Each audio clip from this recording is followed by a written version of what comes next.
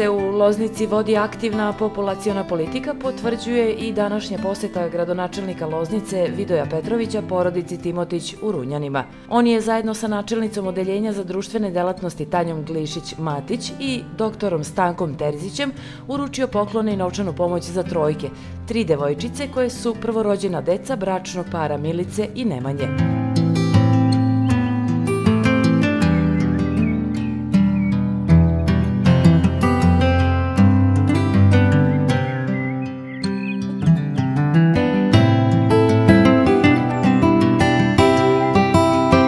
U razgovoru sa Timotićima gradonačelnik Loznice rekao je da je ljudski brinuti o porodici, a pre svega o deci koje su najveća radost roditeljima, ističući da je ovo gest podrške grada Loznice porodicama sa troje i više dece, što je u skladu sa populacionom politikom i podsticajnim merama lokalne samouprave, po kojima je Loznica prepoznatljiva kao jedan od lidera u Srbiji.